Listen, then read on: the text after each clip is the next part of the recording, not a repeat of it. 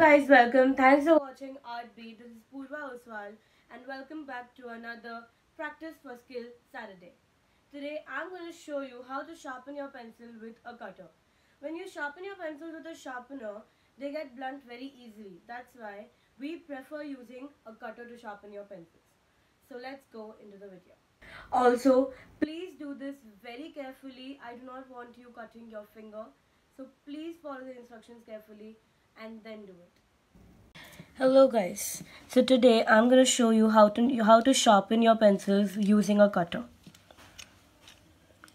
So initially place your index finger just below the tip part of it and your thumb should be here at this much distance to the pencil. The, uh, this is for specifically righty right-handed uh, people. So the pencil will be in your left hand and the cutter in your right hand and it changes if you're a left-handed person. I'm going to start. So hold your cutter this way. Take a little go a little bit below this part. Give pressure with this thumb and push it.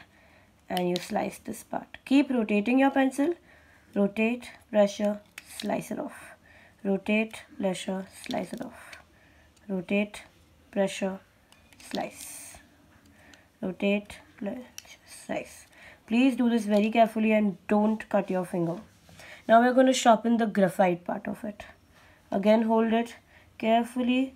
This needs less pressure because graphite is, it can break very easily. Pressure, low pressure, keep sliding it and go. Rotate, low pressure, slide and leave it. Rotate, low pressure, slide and leave it. Okay?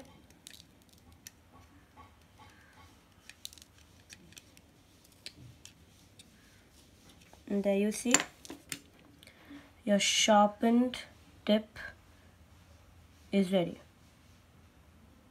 And you will get sharp strokes. Look how the strokes are. Nice and sharp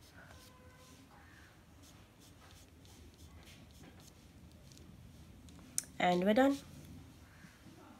So I hope you like the video. Please practice this at home and use a cutter preferably to sharpen your pencils.